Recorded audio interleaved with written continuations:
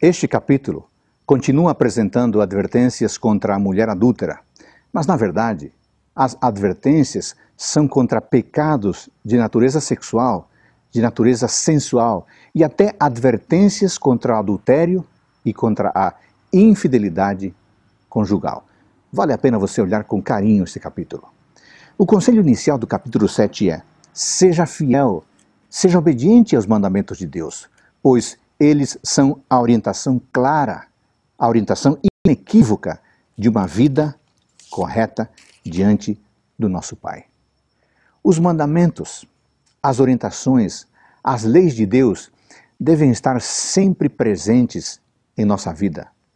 Não apenas de modo exterior, para que todos vejam, ou no papel, mas de modo interior, gravados em nossa consciência, gravados em nossa mente. Uma parte importante da leitura de hoje nos adverte contra os procedimentos do pecado sexual. Sabe como acontece? Provérbios 7 diz assim: sempre há um convite realmente convidativo. Sempre há a desculpa de que tudo vai ficar bem. Sempre há a explicação de que ninguém vai ficar sabendo, só vai ficar entre as duas pessoas sempre há um discurso altamente tentador. Mas também, diz o provérbio, como parte dos pecados sexuais e sensuais, acontecem algumas coisas. Sabe quais?